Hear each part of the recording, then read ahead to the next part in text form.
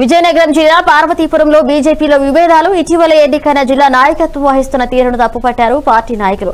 ఏక నిర్ణయంతో విభేదాలకు దారితీస్తున్నారని ఆవేదన. కార్యకర్తలను సైతం లెక్క చేయడం లేదని జిల్లా నాయకులపై ఆరోపణ. మున్సిపల్ ఎన్నికల్లో పార్టీ వారికి కాకుండా ఇతర పార్టీ అభ్యర్థులకు బలపరిచారని ఆవేదన వ్యక్తం చేశారు. టైంలోనైనా చాలా ఇబ్బంది పెడుతున్నారు గవర్నమెంట్ సీన్ గారు. ఏ టైంలోనైనా విత్డ్రా అయిపోతారేమో పార్టీకి సంవత్సరాలుగా సేవలు అందిస్తున్న ఒక మహిళకి మనం విత్డ్రా చేయించడం అనేది పార్టీకి అవమానం అని విత్డ్రా అయ్యే సమయం వరకు తిండి తెప్పులు లేకుండా మూడున్నర వరకు కూర్చున్నది నేను. అప్పుడు కూడా నాకు పదవలేదు. అప్పుడు కూడా నేను కార్యకర్తనే.